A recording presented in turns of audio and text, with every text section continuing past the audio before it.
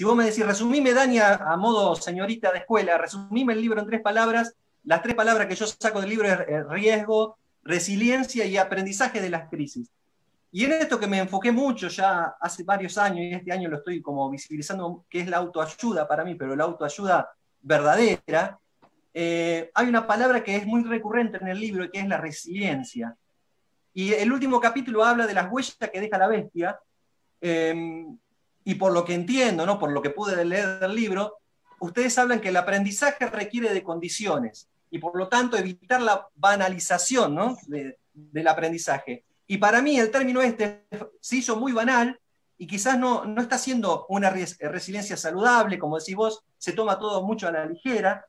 Y sabiendo esta imposibilidad, que la resiliencia es imposible hacerla solitaria, algunos tips, y sé que te encantan los desafíos, escuchar esa charla TED, y conocerte a vos y hacer en 9 minutos 58 un resumen para las cosas que están bien y están mal, algunos tips para que aquellos que la están pasando mal y están en este proceso de resiliencia, ¿dónde debería enfocarse la resiliencia hoy para esas personas que están con un nivel de angustia impresionante, superador?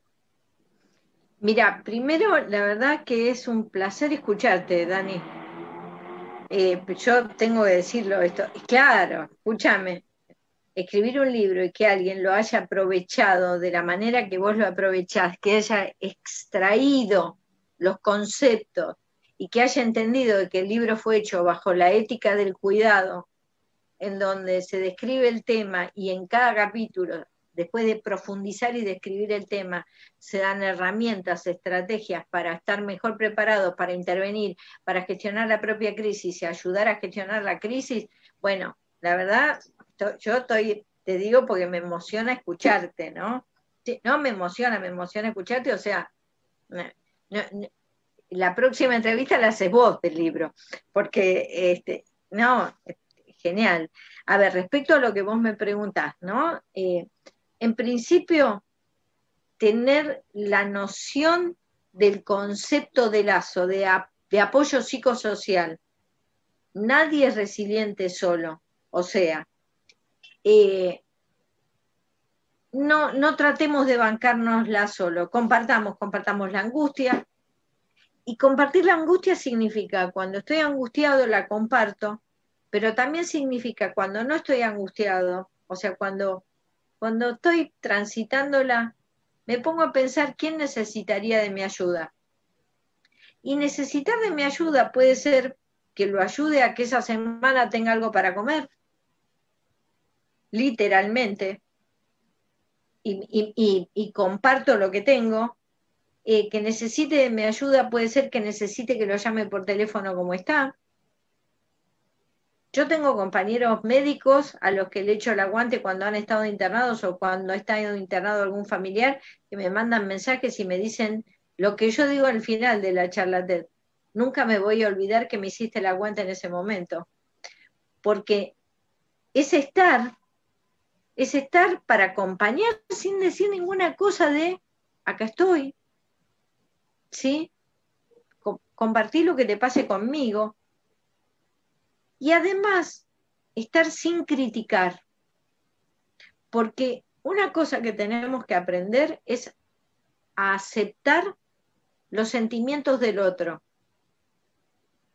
Y a mí me está pasando me estoy volviendo medio tuitera, es una forma de decir como el que el otro autor es comunicador y tiene, no sé, 60 mil seguidores en el Twitter.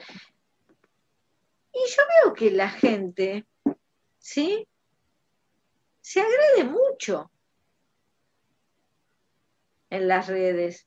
Y uno dice, che, las redes tienen que ser redes para sostenerse. Por eso hay un, capítulo que se llama Telarañas que no siempre sostienen.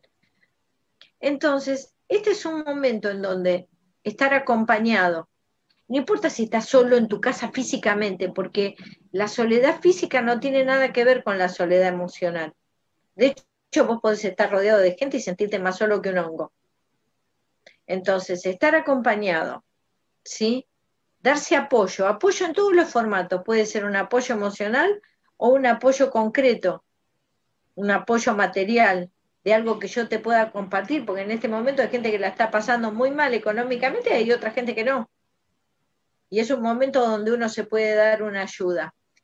Tener claro que en la vida todo lo que empieza termina. Nos guste o no nos guste. Terminan las cosas lindas, pero también terminan las crisis. Y lo mejor es transitarlas de la mejor manera posible para que cuando terminen no nos encuentre hechos eh, colgajitos. Incorporar ¿sí? rutinas saludables, que no significa que todo tengo que comer sanito, porque rutina saludable parece, viste, comer sanito.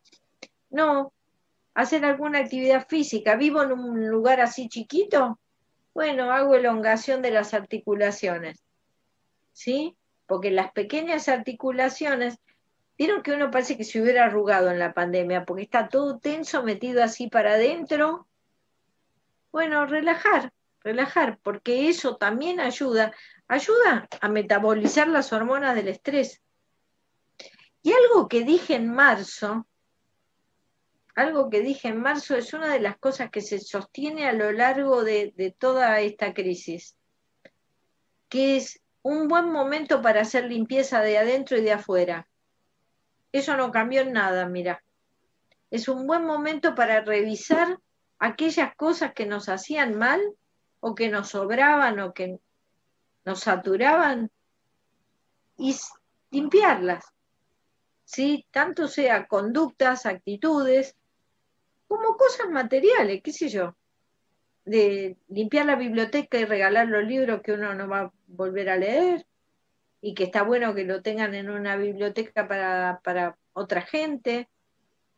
Regalar la ropa que no usás. Si ya tenés un placar lleno de ropa, muchas veces, ¿sí? Habrá gente que tenga poca ropa, pero hay mucha gente que tiene un montón de ropa. Compartir la ropa que no usa, ¿sí?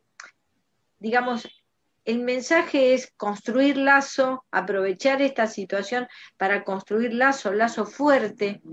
Y no hace falta contacto físico para el lazo fuerte, porque, a ver, la dimensión de lo espiritual no está por afuera de esto. Cada uno le pondrá el título que quiera. El concepto de religión en términos de religio, de religar, ¿sí? de que somos parte de un todo y lo que hace cada uno miren, no hace falta ponerse este, místico para esto. Eh, no se sabe cómo, qué pasó en Wuhan y hoy, o sea, el efecto mariposa no hace falta ni hacer una película de ciencia ficción para poder...